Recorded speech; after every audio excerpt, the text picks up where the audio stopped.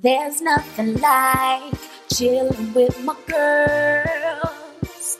Just me and my divas taking over the world.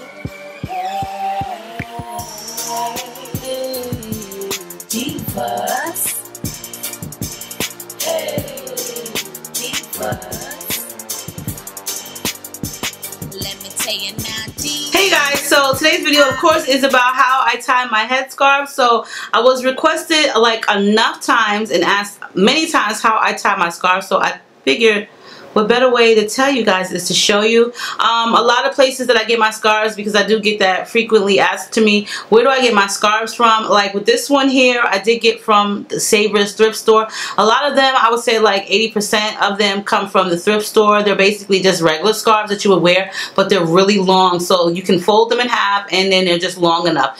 You can also buy fabric and material. They do have places where you can buy just specifically head wraps.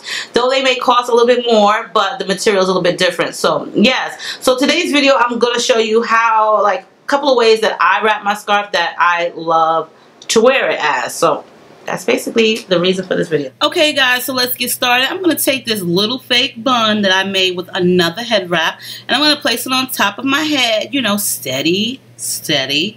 And I'm going to take one of my favorite scarves. It is folded in half because it's very wide. You want to pull that tight towards your forehead, tight as you can. And I'm just going to start twisting it underneath as you can see right here. I'm just twisting it I'm just going to speed this up a bit. You just want to kind of like twist it. Not twisting it like, you know, hair, but just twisting it around. And I want to take that one twisted piece of material and I'm just going to wrap it around that little faux bun and then tuck it underneath. That's just one way. You could either wear it to the side, as you see that I have here, or you can center it in the middle. And you want to take that area where your little fake bun is at, which is supposed to be like more hair for you, and kind of like puff it up. And this is what it basically would look like on the sides and in the back. You can make the bun, faux bun, bigger. It's all up to you. Now with that same faux bun, I'm going to take this same piece of material, this same piece of fabric, which I love so much, and I got this from the thrift store, and I'm going to go ahead, I'm going to pull that towards the front. I'm going to pull my hand up and underneath and pull the one side through.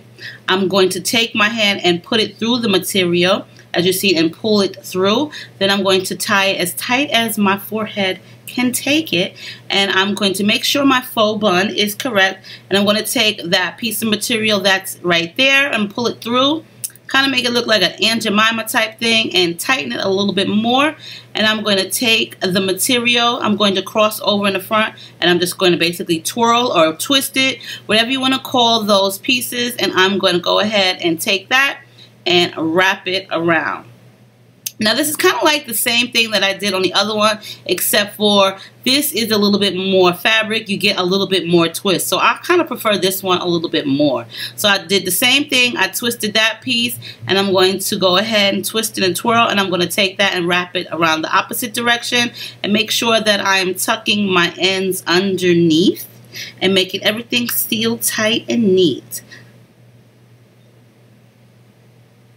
And there you have it. I'm going to tuck that in and that little piece right there, I'm going to tuck that up and I'm going to push it up a little bit and there you have it. Might want to just puff up your little faux bun, but this one has a little bit more knots.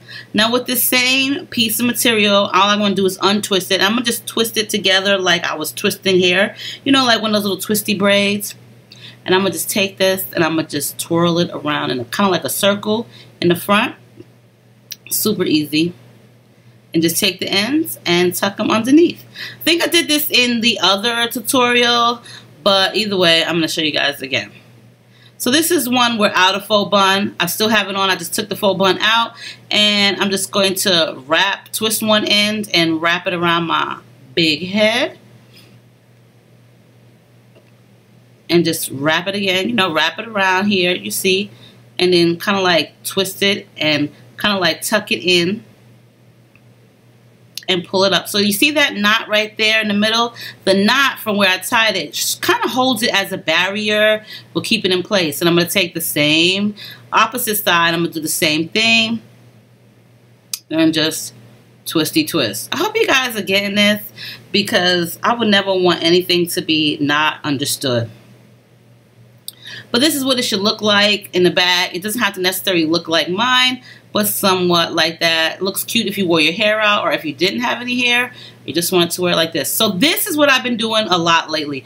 So I'll take my half wig, half wig, wig, whatever, and I'll place it back, a little bit back. And being that half wigs don't have any combs on the sides, a girl be putting some bobby pins. It doesn't have to be a perfect half wig. You see mine is old. I'm going to take one of my head scarves and I've already got it folded in half and I'm just going to put it right there on the back of my neck and I'm going to pull it up in the back area. As you see right here, I pulled it somewhat up and it fell back down, but that's okay. Now you want to take and you want to tie it in the front. Make sure you have no hairs getting stuck in that head wrap. And it's always best to do this with a nice long scarf because it comes out perfect. Now as you see, I have my ends here. I'm going to take one of my ends, you see that? And I'm going to kind of like open the fabric up and I'm going to bring it around. You see? I just brought that around. You see that? I opened it up and now I have two ends. One is a little bit shorter, but that's okay. And now I'm going to tie those together again. We got another tie thing going on here. And I'm just going to situate my hair. Being that I fluffed open the sides of my fabric, you can push and smash your hair down. And you just want to take it and twist it like if you was twisting hair and just do your thing with it. And you don't have to do it like I do. Mine's right here in the front, but you can just do a numeral thing. So here you see, I then twisted it wrapped it around, and I'm tucking it underneath. And as you see my half wig, it's kind of more or less to the side because I tucked in one side in, on that fabric. And as you can see, I'm going to do a slow turn. There you have it. I opened it up. As you remember, I was pulling it up in the back. That's how it looks when you op open the fabric. So it can kind of like conceals more of the hair. And also you can just do this in the front. Sometimes I may do this. and just twirl it around and, tuck it and pin it. Have me like a little bun bun in the front. That's about it, you guys. Hope you enjoyed the video and stay diva and divalicious.